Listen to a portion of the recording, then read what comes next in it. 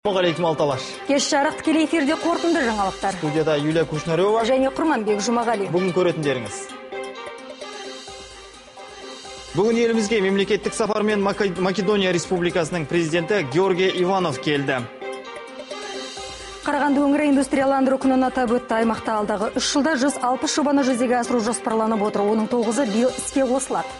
Елордада астананың үздік тауары 2012 көрме байқауы өтті. Астанада азия жаңғырғы халықаралық цирк өнерінің бесінші фестивалі басталды Македония мен Қазақстан индустрияландыру, тұрғын үй және туризм мен жеңіл өнеркәсіп салаларында тығыз әріптестік орнатуға мүдделі. Бұл туралы бүгін елімізге мемлекеттік сапармен келген Македония Республикасының президенті Георгий Иванов Ивановтың мемлекет басшысы Нұрсұлтан Назарбаевпен кездесу кезінде белгілі болды. Елбасы Македония басшысын Ақордада салтанатты түрде қарсы алып, екі елдің қарым қатынасын арттыруға бағытталған бірқатар кездесулер өткізді. Келіссөздердің қорытындысы бойынша салық инвестиция және өзара сауда экономикалық ынтымақтастықты арттыру жөніндегі маңызды келісімдерге қол қойылды. Ақордадан тілшіміз Жігер Сәрсенов әңгімелейді. Македония президенті Георгий Иванов біздің елде алдыңғы жылы Астанада өткен Еуропадағы қауіпсіздік және ынтымақтастық ұйымының саммитінде болып қайтқан. Бұл оның алғашқы мемлекеттік сапары. Елбасының шақыртуымен келіп отыр. Нұрсұлтан Назарбаев әріптесін Ақордада салтанатты түрде қарсы алды. Вчера Мен Астананың орталығын аралап серуен құрып та үлгердім. Көргендерім нағыз таңғаларлық дүниелер. Осыдан екі жыл бұрын Астанада өткен Еуропадағы қауіпсіздік пен ынтымақтастық ұйымының саммитінде болып қайтқанмын. Қала барған сайын түрленіп құлпырып келеді. Мемлекет басшыларының екеуі әңгімесінде өзара ынтымақтастықты арттыру жайы сөз болды. Талқылаулар одан әрі кеңейтілген құрамда жалғасты. Орталық шығыс Еуропадағы оймақтай ғана ел Македония бұрынғы Югославияның құрамындағы мемлекет. Сондықтан Қазақстанмен кезінде кеңестер одағы арқылы ғана бірлі жарым байланыс орнатқаны болмаса, етені жақындығы жоққа тән. Қазақстан бұл елдің тәуелсіздігін 1994 жылы танып, мемлекеттер арасындағы дипломатиялық қатынас 1995 жылы ғана қалыптасты. Десе де осы уақытқа дейінгі екі ел әріптестігінің деңгейі көңіл тоғайтарлық емес. Мәртебелі мейманның бұл сапары жаңа әріптестікке тың серпін беруге тиісті деді Нұрсұлтан Назарбаев. Қадірлі қонағымыз Македонияның басшысы біздің Балқандағы негізгі әріптестеріміздің біреуі болып саналады. Тәуелсіздік жылдарынан бері қарай қарым қатынас онша көп дамыған жоқ. Сондықтан сауда саттық ауқымы да көп емес сондықтан бұл кездесудің өте үлкен маңызы бар. Халықаралық жағдайларда мен иванов мырзаның қазақстандағы обсе ның саммитін өткізуге және төрағалық етуге жасаған қолдауына ризашылығымды білдіремін білдірдім. Болашақта қазақстан экспо 2017 жылғы болатын көрмені қолдауын сұрадым.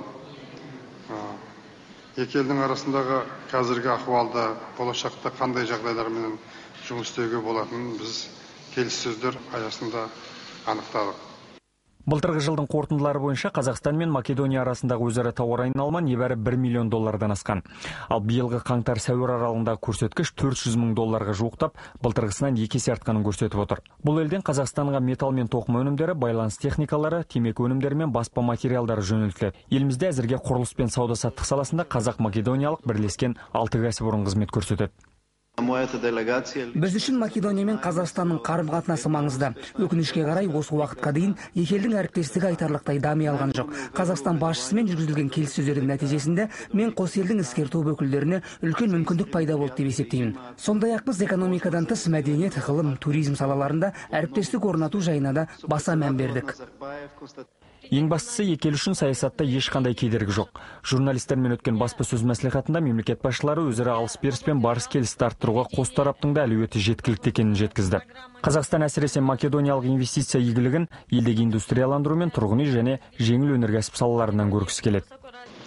Қазақстанның индустриялық бағдарламасы менен тұрғын үй салу бағдарламасы инфраструктуралық бағдарламасымен таныстырып македония бизнесмендерінің қандай салада қазақстанмен жұмыс істеу мүмкіншілігі бар екеніне біз тоқталып өттік ең біріншіден македонияда өңдеу өнеркәсібі өте көп өскен мысалы дәрі дәрмек жасау мәселелері үй салу текстиль машина құрылым жағынан қарым қатынастарымызды одан ары қарай жалғататын болдық бұл сапардың нәтижесі өте үлкен болады деп санаймын. Оның үстіне бизнесмендер кездесетін болады. Келіссөздердің қорытындысы бойынша екі ел үкіметтері арасында қосарланған салықты болдырмау және кіріс салығынан жалтарудың алдын алу инвестицияны ынталандыру сондай ақ сауда экономикалық ынтымақтастық туралы бірқатар келісімдерге қол қойылды. Осылайша бұл құжаттар алда қазақстан македония қарым қатынасын жаңа қырынан дамытуға жол ашпақ. Македония басшысы нұрсұлтан назарбаевты өз еліне сапар жасап қайтуға шақырды. Ақордадан жігер сәрсенов мейрамбек ақмаханов бақтыбай шаханов және қайрат мақажанов хабар президент телерадио кешенінің көмегімен. Бүгін сондай ақордада мемлекет басшысы Нұрсұлтан Назарбаев ақш конгрессмендері Дэн Бертон мен Григорий Миксті қабылдады. Кездесу барысында сауда экономикалық және халықаралық даму мәселелері талқыланды. Елбасы ақш пен Қазақстан арасындағы сәтті ынтымақтастықта тілге тиек етті және Қазақстанның 2020-2025 жылдары әлемнің дамыған елдерінің қатарына қосылуды мақсат етіп отырғанын атап өтті. Өз кезегінде мәртебелі меймандар Қазақстан басшысының жылы қабылдауына өз алғыстарын білдіріп, қазақ елордасының дамуына жоғары бағасын берді бүгінде қазақстан мен ақш арасындағы байланыс жоғары деңгейде дамып келеді. Өткен жылы екі елдің өзара тауар айналымы екі бүтін жүзден жетпіс төрт миллиард долларды құрады. Сенат төрағасы Қайрат Мәми Македония президенті Георгий Ивановпен кездесті. Кездесу кезінде Қайрат Мәми бұл сапардың Қазақстан мен Македония арасындағы қарым-қатынастарды дамытуда, оның ішінде парламентаралық байланыстарды нығайтудағы маңызына тоқталды. Қол жеткізген келісімдерді жүзеге асыру үшін қазақстан парламенті толыққанды нормативті құқықтық базаны құруға даяр деді сенат спикері. Ал македония президенті сауда экономикалық білім мен мәдени салалардағы келісімдердің сәтті орындалатындығына сенім білдірді. Георгий ивановтың айтуынша бұл сапар парламентаралық ынтымақтастықтың дамуына негіз бола алады. Сондай ақ қайрат мәми ақш конгресі өкілдері палатасы халықаралық қатынастар комитетіндегі еуропа және еуразия елдері кіші комитетінің төрағасы дэн бертон бастаған делегациямен кездесті. Кездесу барысында қайрат мәми парламентаралық байланыстардың ізгі дәстүрлерінің жалғасы болып табылатын осы сапардың маңыздылығын атап өтті.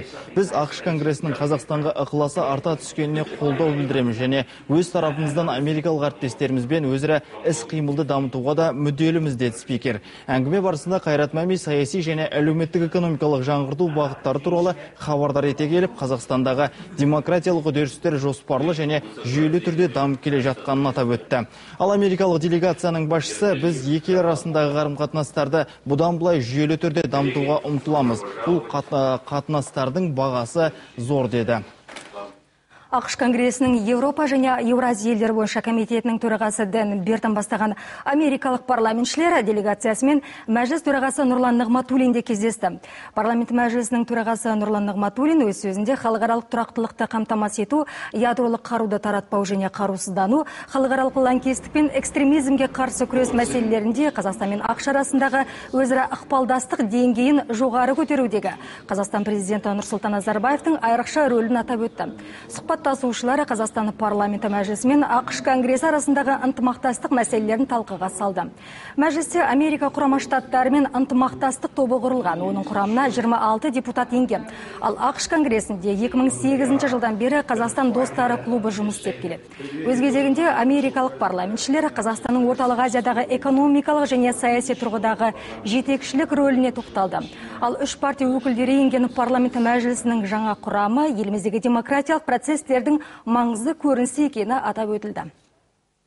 Қазақстан мен Қырғызстан арасындағы ынтымақтастық қарым-қатынас сан сала бойынша тереңдеп келеді. Елімізге жұмыс сапармен келген Қырғыз Республикасының премьер-министрі Өмірбек Бабанов бүгін журналистермен кездесуде осылай деп мәлім етті. Бұл Өмірбек Бабановтың елімізге үшінші рет келуі. Сапар барысында бірқатар екі жақты кездесулер өтті. Келіссөздер барысында саяси, сауда-экономикалық, инвестициялық, мәдени, гуманитарлық және басқа салалар негізінде қарым-қатынастарды одан әрі нығайту жұмыстары талқыланды. 2011 жылы Қазақстан мен Қырғызстан арасындағы тауар айналымы 750 миллионнан астам долларды құрап, алдыңғы жылмен салыстырғанда 27 пайызға өскен. Алдағы уақытта бұл көрсеткіш 1 миллиард долларға дейін арттыру көзделіп отыр дейді Өмірбек Бабанов. Сондай ақ ол самұрық қазына ұлттық әл ауқат қорының басшысы Өмірбірзақ Қашөкеевпен кездесті. Тараптар электроэнергетика, көліктік қатынас, газ мәселесі және Қырғыздың ұлттық жобаларына Қазақстан инвестициясын кеңінен тарту мәселесін тереңірек пысықтады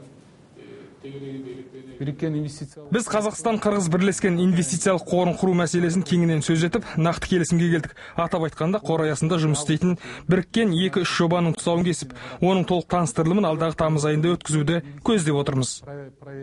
Евростат статистикалық қызметі жұмыссыздық жөнінде жаңа мәліметтерді жариялады. Оның есебі бойынша бір жылда Евроодақтағы 27 елдегі жұмыссыздар саны 1 миллион 800 мың адамға жеткен. Жалпы жұмыссыздардың ресми тізімінде 25 миллион европалық бар. Олардың үштен екісі евро аймағында өмір сүреді. Жұмыссыздықтың ең төменгі деңгейі 4,11 пайызы Австрияда тіркелген. Ал Испанияда 24,16 пайызға жетіп отыр. Өткен жылды маусым айымен салыстырғанда қазіргі кезде жұмыссыздық деңгейі евро одақтың 8 елінде төмендесе 18-інде өсіп кеткен. Балтық елдерінде жағдай біршама қалыпты орта есеппен 3 пайызға жақсарған. Ал жұмыссыздар саны жағынан грекияда жағдай қиын. Мұнда қол қусырып отырғандардың саны 15-тен 22 пайызға дейін жетіп жығылады. Астанада өткен 5-ші экономикалық форумда елбасы көтерген бастама G Global сұхбат алаңының құрылуы әлемдік экономикалық дағдарыстан шығу жолдарын пысықтауға үлкен септігін тигізеді. Қазақстанның жоғарғы оқу орындары қауымдастығының президенті Рахман Алшанов осылай деп есептейді. Қазіргідей жағдайда дағдарыс сияқты маңызды мәселені әлемнің барлық елдері талқылап, өз пікірлерін білдіруге құқылы дейді ол. Қазақстан қазір соңғы кезде мына осындай форумдарда өзінің ойын айтып пікірін айтып есептесін тек қана мына дамыған елдер емес сегіз g сегіз болсын жиырма ел болсын дегендей ол тек қана олар емес барлық елдерге қатысты тікелей қатысты мәселелер бар. Сондықтан біздің де дауыс естілсін деген әңгіме. Әлемдік сарапшылар өткен жылы Қарағанды облысын Қазақстанның ең қарқынды дамып келе жатқан аймағы деп тауып, аса беделді халықаралық инвестициялық періште сыйлығын тапсырған болатын. Өндірісті өңір биыл да өзінің даму қарқынынан жығылған жоқ. Аймақта алдағы үш жылда 160 жобаны жүзеге асыру жоспарланып отыр. Оның тоғызы биыл іске қосылады. Индустрияландыру күнін атап өткен Қарағанды облысы жарты жылда атқарылған шаруалар барысын пысықтап, алдағы жұмыс жоспарларын талқылады. Бұл күні Сарыарқа еркін экономикалық аймағында алғашқы инновациялық жобаның тұсауы кесіліп, аймақ кәсіпорындарының қатысуымен көрме өтті. Тақырыпты өңірдегі тілшіміз Ардақ Асылханұлы тарқатады. Қарағанды облысы еліміздегі экономикасы қарқынды дамып келе жатқан кенді аймақтардың бірі. Айталығы 2011 жылы өнеркәсіптегі өнім көлемі 1,3 триллион теңгеге жетсе биыл бірінші жартыжылдықта бұл көрсеткіш 638 миллиард теңгеге өскен. Бес жыл ішінде индустриалды инновациялық даму мен бизнестің жол картасы бағдарламасы бойынша әлеуметтік кәсіпкерлік корпорациясы аясында және сарыарқа еркін экономикалық аймағында облыста 160 жобаны іске қосу көзделіп отыр. Бұл өңірдің әлеуметтік экономикалық дамуына жаңа серпін бермек. Екі жыл ішінде іске қосылған 36 кәсіпорында қазір жеті жарым мың халық жұмыс істеп жатыр. Алдағы екі жарым жылда тағы да 14 мың екі жүз жұмыс орны ашылуы тиіс. Индустриалды инновациялық даму стратегиясын жүзеге асырудағы басты бағыттардың бірі қала аумағынан жоғары технологиялы әрі экологиялық жағынан таза өндірістерді салуға инвестиция тарту.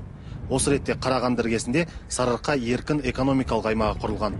Мұнда биыл өз кәсіпорындарын салуға 11 компания ниет танытып отыр. Солардың бірі пластик құбыр шығаратын кәсіпорын. Бүгін зауыттың алғашқы кірпіші қаланды. Мы рассчитываем біз ең әуелі өз өнімімізбен қазақстанды орта азияны қамтамасыз етуді жоспарлап отырмыз. Кейін тмд елдеріне оның ішінде ресей нарығына шығаруды көздейміз. Жыл соңына дейін зауыт құрылысын аяқтап 2013 жылдың басында алғашқы өнімді береміз. Біздің құбырлардың ерекшелігі ұзақ мерзімге шыдайды.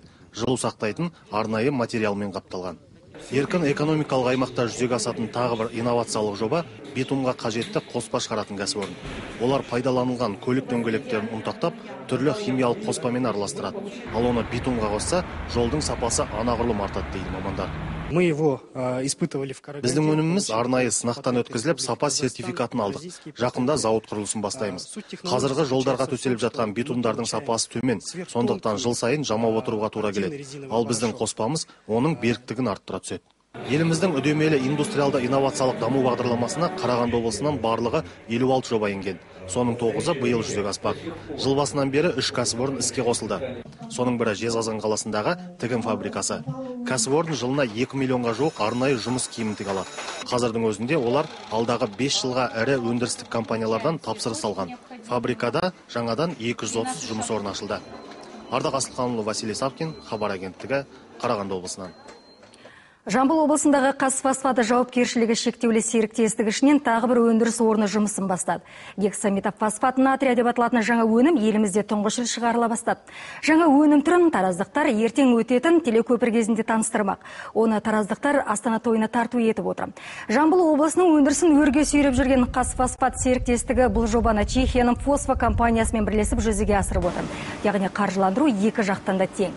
Жобаның жалпы құны 500 миллион теңге. Жылына 5000 тонна өнім шығаруды көздеп отыр. Гексаметофосфат натрия дегенді қарапайым тілмен айтсақ фосфор тұзы. Бұл химиялық қоспа мұнай өндірісімен былғары және керамика өнімдеріне кеңінен пайдаланылады. Одан бөлек тамақ өнімдерінде ұзақ қалпында сақтауға таптырмайтын қоспа. Жаңа өндіріс цехы толық автоматтандырылған. Әзірге 30-ға жуық азамат еңбек етіп жатыр. Жұмыстың екінші кезеңі басталғанда адам саны еселеп артады дейді зауыт басшылары. Басты сұраныс тмд және Европа мемлекеттері. Жаңа өнім тек экспортқа арналған. Қазфосфат компаниясының екі мың оныншы жылдан екі мың жиырмасыншы жылға дейін модернизациялау бағдарламасы жасалған. Бұл бағдарлама бойынша біз екі мың жиырмасыншы жылға дейін еңбек өнімділігін үш есе өндіріс көлемін төрт есе және де сату көлемін төрт есеге ұлғайтуымыз керек.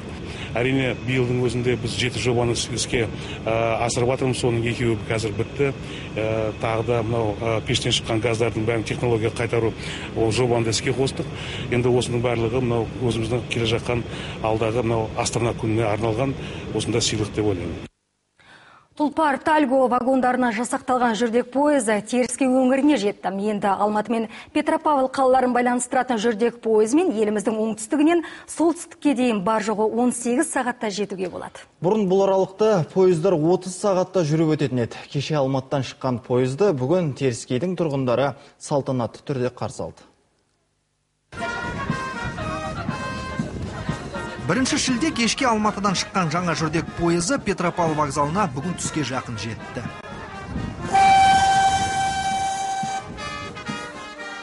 Тұлпарға мінген алғашқы жолаушылардың арасында германияның тұрғыны сергей дудников та бар.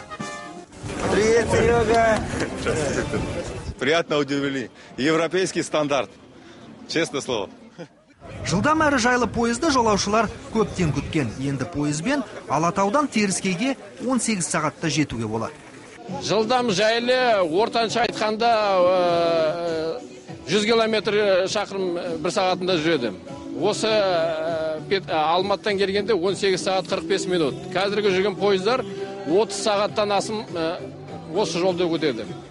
Елбасының тапсырмасына сәйкес елімізді жүрдек пойыздармен қамту бағдарламасын жүзеге асыру арқылы құрылысы ерекше пойыздың вагондарын астанада былтырдан бастап шығара бастаған. Заманауи талаптарға жауап беретін вагондарда арнайы вакуумдық тазарту жүйесі жұмыс істейді. Меншікті электр станциясымен жабдықталған пойыз қоршаған ортаға да аз зиян келтіреді. Астанада тұлпар тальгі заводында 2014 жылға дейін 140 бүгінгідей сияқты вагондар шығатын болады. 2015 жылдан бастап жыл сайын 150 вагон шығаратын боламыз. Жылдам жүретін жетісу пойызы алматы петропавл бағытында күнара қатынайтын болады. Осындай жүрдек пойызды ұсынып жатқан елбасына барлығына рахметімізді айтамыз. Енді алматы петропавл арасында жан қиналмай тез жететін бір үлкен жүрдек пойызына ие болып жатырмыз. Онысына көптен көп рахмет. Енді самолетпен емес тез жеткіміз келсе пойызбен ақ жете беруімізге болады екен. Жолаушыларға барынша қолайлы мүмкіндік беретін пойыз биыл ақтөбеге. Келесі жылы ақтау қызылордаға жететін болады. Жалпы 2015 жылы жылдам жүретін пойыздар еліміздің барлық аймақтарына қатынайды деп жоспарланған. Руслан оспан төлеген иманов хабар солтүстік қазақстан облысынан. Желім өскен оңтүстік Қазақстан облысының дихандары Астана күні қарсаңында елорда тұрғындарына сыйлық жіберді. Жазы ерте шығатын болған соң көгөнісі ерте пісетін өңірден 20 автокөлік сап түзеп, керуен болып жолға шықты. Оңтүстікте биылғы көктем дихандар үшін біршама жайлы болды. Ерте қамын жасаған шаруа алғашқы өнімін мамыр айында жинай бастаған. Жалпы шаруалар жыл жемісті болады деп, шеш, деп шамалап отыр. Өткен жылдарға қарағанда әлдеқайда көп өнім жиналады деген болжам бар. Бір биыл жылдың өзінде облыста 110 гектар жерге жылыжай салынып, жыл басынан бері барлық жылыжайлардан 60 мың тоннадан астам өнім жиналды. Астана күніне арналып жіберіліп жатқан автокеруенде сол жылыжайлардан жиналған соңғы өнімдер де бар. Оңтүстік Қазақстандық дихандар өсірген жеміс көкөнісінің ең жақсы сұрыптарын сапалы деген өнімдерін астаналықтарға жіберіп жатыр екен. 20 автокөлікте 200 тоннадан аса қарбыз қауын қияр қызанақ өзге шаруашылықтар өнімдері бар. Мереке күндері астаналықтар мен қонақтар жақсы көкөністерден дәм татсын деген ниет. Алқапта жүрген дихан осылай мерекелік сый ұсынды.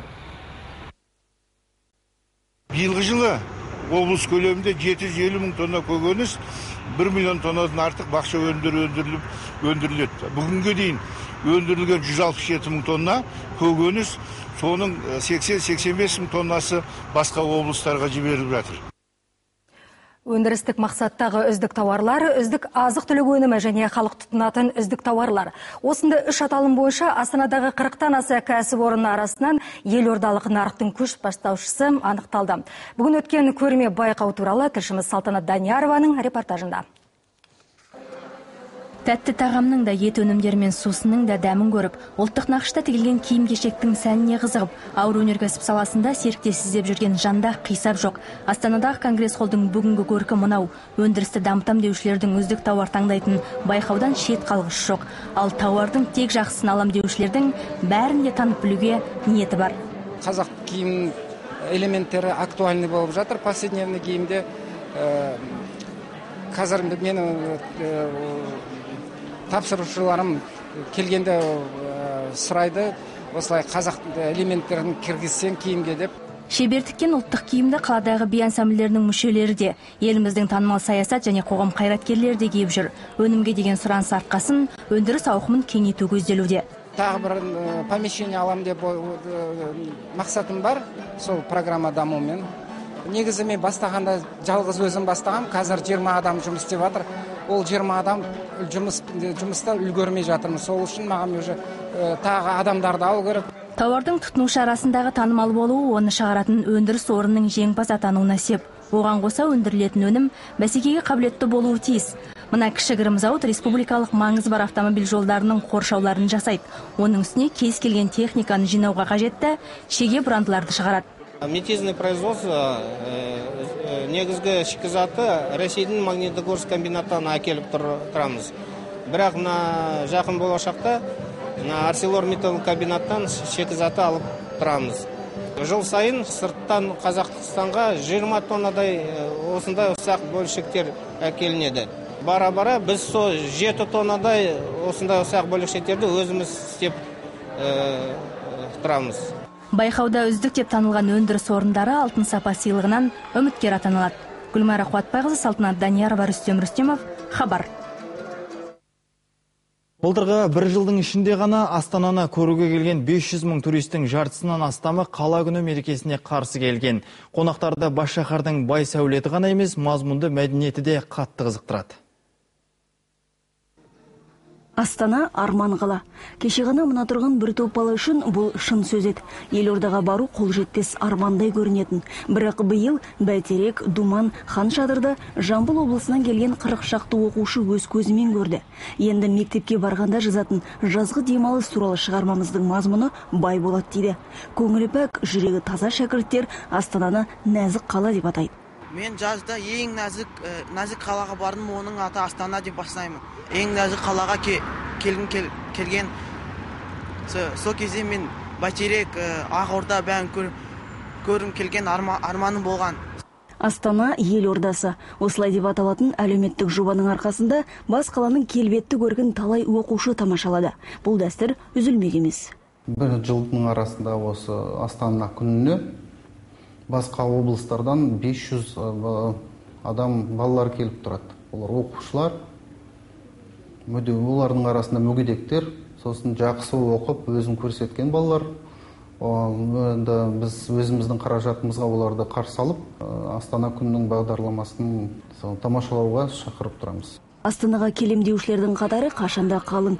Бүгінде бұл шетел азаматтарының да қазақстандықтардың да туристік саяхат бағытындағы міндетті нысаны. Соңғылардың саны әсіресе басым. Және олардың дені бас қаланың туған күніне келуге тырысады. Адам баласы дегенде мына жақсы нәрсеге өте тез үйренеді ғой. Әнеге құмар болады. Мен әлі де болса әлі де болса келгім келіп тұр. Өйткені қала тартымды көгаландырылған. Көшелер деген қарасаң жаңағы сүйсінетіндей ғимараттарды сұраныс ұсынысқа тәуелді. Осылай дейтін туризм саласының мамандары туризмді одан әрі дамыту үшін әлем елдеріне қарайлайды. Жақын болашақта лондондағы қосқатарлы қызыл автобустарға ұқсатып автогиді бар астаналық автобустарды көшелерге шығармақ. Ал биылғы жылдың жаңалығы онлайн гид енді астанаға келген қонақтардың туристік экскурсия бағыттарын таңдау тәсілі айтарлықтай жеңілдеді. Жақында ғана астанада осындай электронды ақпараттық қондырғылар пайда болды. Онлайн гид деп аталады. Оның көмегімен қаладағы қонақ үйлердің ойын сауық орындарының қаланың көрікті орындарының қайда орналасқан осындағы картаның көмегімен оңай әрі жылдам тауып алуға болады. Қала күніне орай мұндай онлайн гид астананың халықаралық әуежайында да өз орнын табады салтанат даниярова дәулет есенбаев еркебұлан құрманғалиев хабар Астанада Азия жаңғырығы халықаралық цирк өнерінің бесінші фестивалі басталды. Ауқымды шара Астана күнін мерекелеу шеңберінде ұйымдастырылып отыр. Фестивальде Монғолия және Қытайдың гимнастары, Қазақстан, Ресей, Қырғызстан және Өзбекстан өнерпаздарының таңғаларлық нөмірлері ұсынылды. Әртістердің басым көпшілігі дүниежүзілік фестивальдардың жеңімпаздары мен лауреаттары.